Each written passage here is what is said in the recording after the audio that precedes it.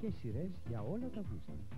Ο Θανάσης Βέγκος συνεχίζει τα ατέλειωτα κυνηγητά του κάθε Σάββατο ως αστυνόμος Παπαθανάσης, ενώ ο Γιώργος Κωνσταντίνου, άγγελος κατά λάθος, ανακατεύει το καλό με το κακό με μοναδική μαεστρία κάθε Τρίτη και Παρασκευή. Επίσης κάθε Παρασκευή, Πάνος Μιχαλόπουλος, Λίλα Καφαντάρη και έρωτας γεμάτος εμπόδια στο φόβος και πάθος. Κάθε Δευτέρα, η παραγωγή που συγκλώνησε την ελληνική τηλεόραση. Ο Κίτρινος Φάκελος, με τους πιο μεγάλους Έλληνες πρωταγωνιστάς στις πιο έξοχες ερμηνείες.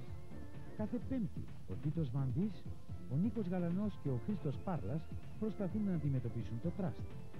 Ο Αλέξης Σολομός, απλός και γλαφυρός, παρουσιάζει σημαντικές αρχαίες κομμωδίες με ένα γαλαξία πρωταγωνιστών κάθε Τετάρτη. Γεμάτος αξιόλογες ελληνικές παραγωγές ο...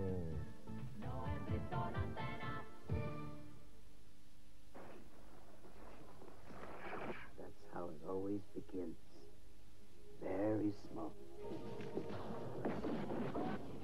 Χαμός στην Chinatown. Κέρτ Ράσελ. Ένας τρομακτικός και αλλόκοτος κόσμος.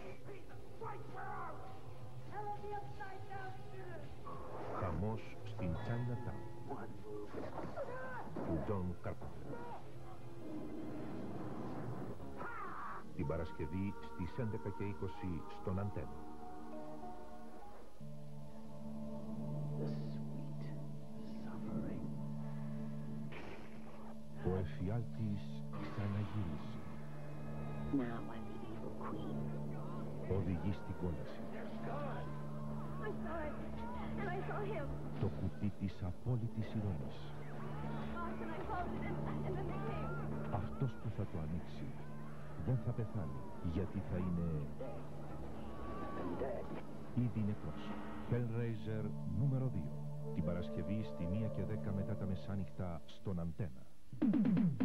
Νοέμβρη στον αντένα. Θρίλερ λοιπόν το Νοέμβρη. Σοκ χωρίς τέλος και ο εφιάλτης ξαναγυρίζει με μια ανίερη σατανική συμφωνία φρίκης. Hellraiser νούμερο 2. Ο εφιάλτης συνεχίζεται με μια φωνική αναμέτρηση με εξόκοσμα πλάσματα. Αίμα στους λόγους, εκεί όπου ο θάνατος είναι λύτρωση. Στο γλυκό δηλητήριο, οι εφησυχασμένες συνειδήσεις των καταναλωτών απειλούνται από μια δελεαστική απόλαυση που στέλνει το θάνατο σε ανυποψία στα θύματα. Η Μπέτι Ντέιβες ξανασμίγει με την αδελφή της στις δίχη της. Η μοιραία του συνάντηση όμως θα σημάνει την καταστροφή.